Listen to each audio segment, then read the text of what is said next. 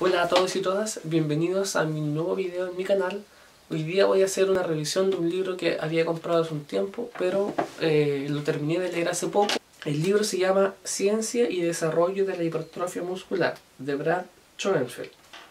Es este de acá. Si eres una persona que está eh, interiorizada con esto del ejercicio físico, nutrición, musculación y hipertrofia, conocerás a este autor.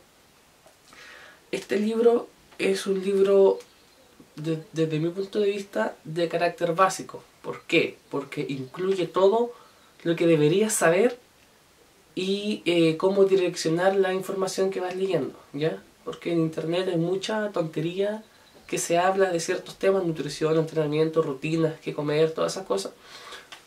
Pero este libro habla desde la ciencia, ya que Brad es una persona que él era un entrenador, eh, ahora es investigador entrena y también es entrenador de culturistas profesionales. Entonces él sabe lo que habla y aparte lo que investiga lo practica, que es muy importante.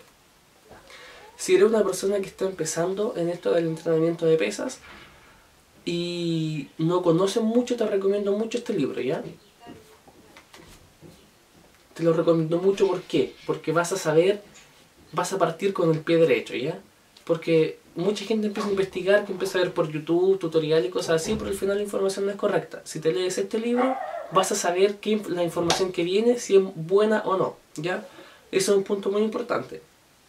Yo soy una persona que lleva harto tiempo entrenando, leyendo, leo todos los días, leo varios libros, entonces el libro para mí no me sirvió mucho, o sea, digamos, ¿de, qué me sirve? Para compensar mis conocimientos, para dar una opinión y saber qué tan... Eh, eh, la información que yo sé, qué tal es en cuanto a lo real, digamos, ¿cachai? A, lo que voy leyendo, cómo se va mm, eh, relacionando todo. ¿Ya? El libro tiene varios conceptos, voy a leer unos... Mira, este libro yo fui a un seminario de Brad y me lo firmó, así que este libro vale más que cualquier otro libro. Eh, voy a leer unos capítulos o los voy a presentar, ¿ya? Para que sepas qué es lo que tiene. El capítulo 1 es Respuestas y adaptaciones relacionadas con la hipertrofia al estrés del ejercicio. Capítulo 2 Mecanismos de hipertrofia, que se mencionan los tres. Papel de las variables del entrenamiento contra resistencia en la hipertrofia. Todo lo que hace que hipertrofiemos, digamos. El capítulo 4 es el papel del entrenamiento aeróbico en la hipertrofia. El 5, factores del desarrollo hipertrófico máximo. Todo lo que influye que puedas a alcanzar tu máximo potencial. Diseño del programa para una hipertrofia máxima y nutrición para la hipertrofia. El libro no es tan largo, tiene 223 páginas, pero son como 160 páginas de puro texto. El resto son referencias bibliográficas que igual son hartas, igual las incluye y es muy importante para que uno después pueda corroborar la información.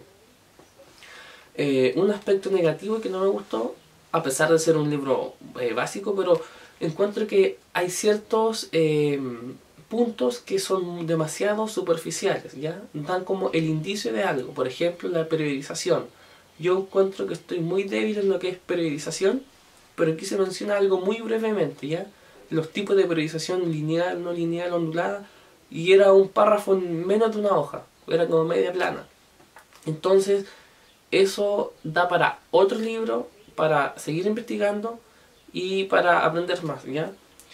Eh, bueno, eso ha sido la revisión del libro de hoy. Espero que les haya gustado. Cualquier duda me la hacen llegar. Y si te gustó, me gusta y suscríbete porque se vienen más revisiones e información. ¿Ya? Que estén bien. Hasta luego.